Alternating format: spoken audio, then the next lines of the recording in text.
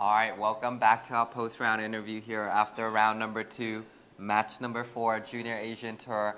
Kanyarak to my right. This face you guys are starting to be very familiar with.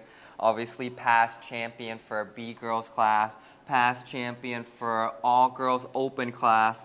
Uh, today certainly had an outstanding performance. You got all the way up to four under par.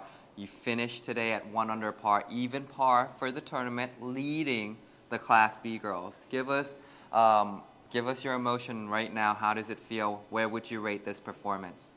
Um, I feel very happy uh, for my today's performance, but I think I should do a little better because I had like small mistakes during the round. Mm, talk to us about those small mistakes. What were they? Was it mental mistake? Was it course management mistake? Was it just a little bit of a error swing, error shots? What is it? Um, I think to work on like distant control because my irons were pretty straight today, but um, some were like many of them were short. Mm obviously you you've got some of the best discipline I've seen here on the Junior Asian Tour.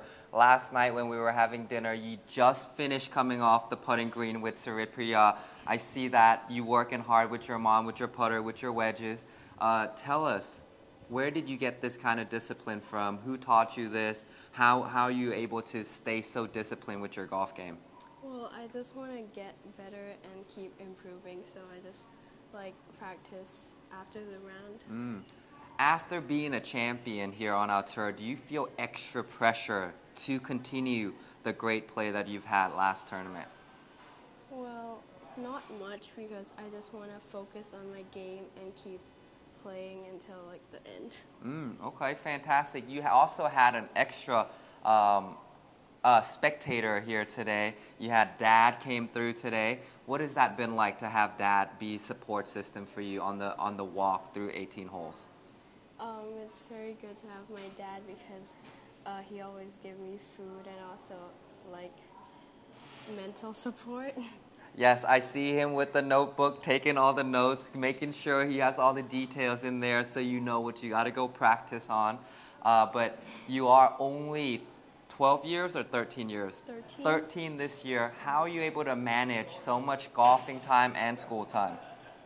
Well, I just try to work hard on the golf and also the school work too. Mm. Yeah. You obviously got the Tiger red, red shirt, black pants. What, what is Tiger one of your favorite golfers? Yes. Okay, rapid fire, LIV golf or PGA?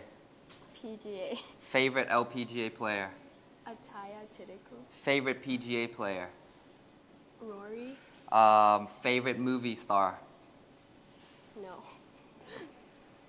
last song you have playing on your playlist. And don't lie, I see you with your headphones. Tell us, what's the song? What's your favorite song right now on your playlist? I don't know. Whoa, whoa, whoa, whoa, whoa. Think about it. I want to know. No? no? Yeah, okay, secret. Secret sauce.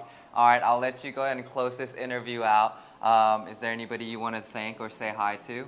I want to thank my parents, my grandma, and my friends for supporting me all along.